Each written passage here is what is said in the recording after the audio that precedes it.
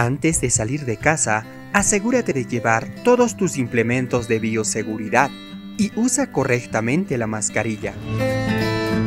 Recuerda que debes mostrar tu carnet de vacunación al personal encargado de la puerta de ingreso.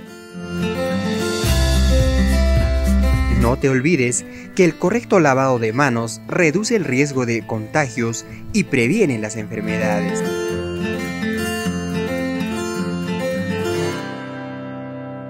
Por un retorno seguro y confiable. Cuidémonos juntos. Nos volvemos a encontrar.